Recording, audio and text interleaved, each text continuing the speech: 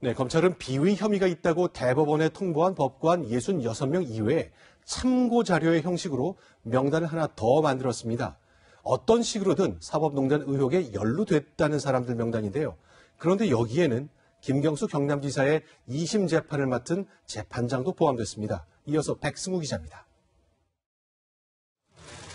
검찰은 김경수 경남지사의 2심 재판을 맡은 차문호 서울고법 부장판사를 사법행정권 남용 연루자로 대법원에 통보했습니다. 대법원장이 징계나 인사 등을 검토할 때 참고할 수 있도록 수사 과정에 파악된 내용을 정리해 보낸 겁니다. 차문호 부장판사는 인종원 전 법원 행정처 차장의 공소장에 언급됐습니다. 사촌 동생인 차성한 판사가 지난 2015년 상고법원 도입에 반대하는 글을 올리자 임 전 차장의 부탁을 받고 사촌 동생에게 전화를 걸어 비판글 작성을 자제해달라는 뜻을 전달했다는 겁니다. 이후 통화 내용을 법원 행정처에 보고한 것으로 조사됐습니다.